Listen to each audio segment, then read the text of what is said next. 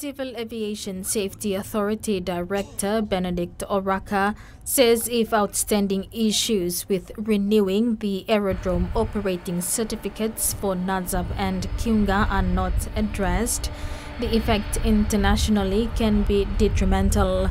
He announced that the International Civil Aviation Organization will perform a full safety audit on PNG's airports in June 2023.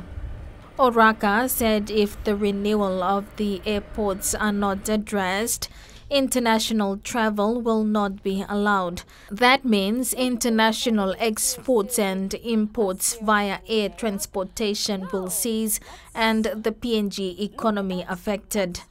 CASA stated that the safety audit conducted for Nadzab and Kiunga airports established that there were 21 non-compliances with a total risk value of 12.12 and 10.6 respectively.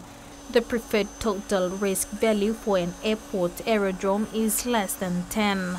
Civil Aviation Minister Walter Schnaubelt said he will make sure that necessary actions are taken to protect PNG to prevent closure of international operations.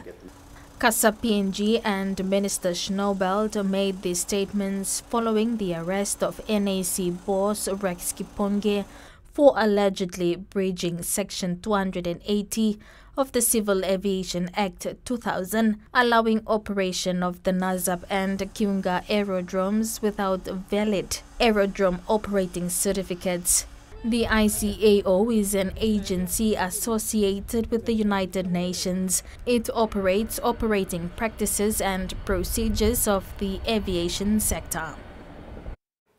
Thanks for watching TVWAN News. Please like and subscribe and don't forget to hit the notification bell to stay up to date with the latest news.